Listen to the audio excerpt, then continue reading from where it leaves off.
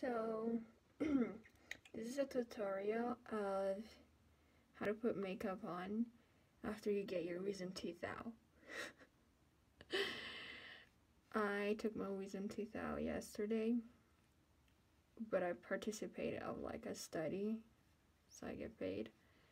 And it was nice, but my cheeks are so big. Like I don't have God I don't even know the name, Gazos, whatever.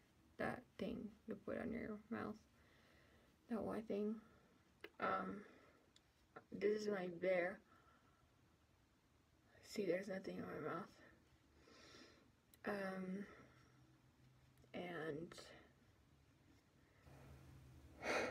and I look so cute? Yeah.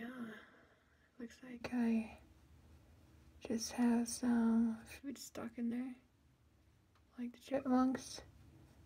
Actually did record some chipmunks video. This part needs to be really careful because it's super big and hurting and swollen.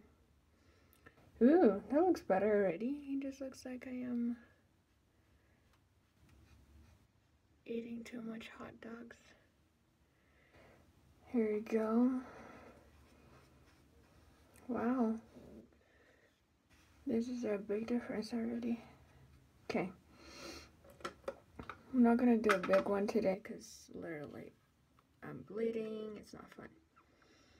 So first you put some blush on. Ooh, too much. Sorry guys. That was way too much. And it's got stuck in. There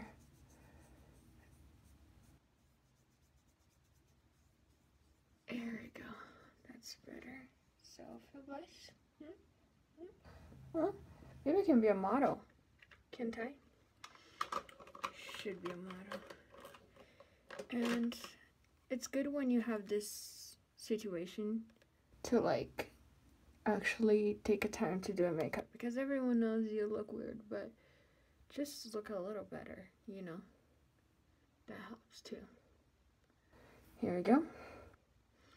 You just unmake it like that. Here we go.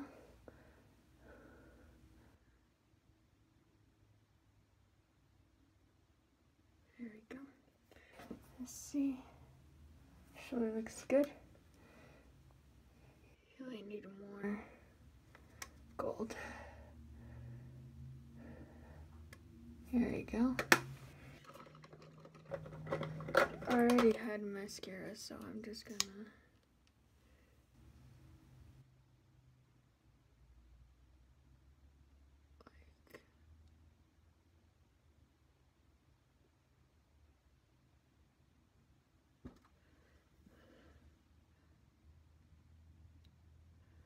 And I have a bad hair right there. Um... that's it. Wow.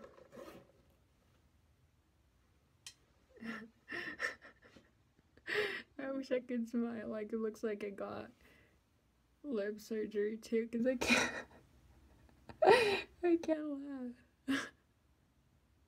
My mouth doesn't my mouth doesn't open bigger than this. This is the best way of smiling.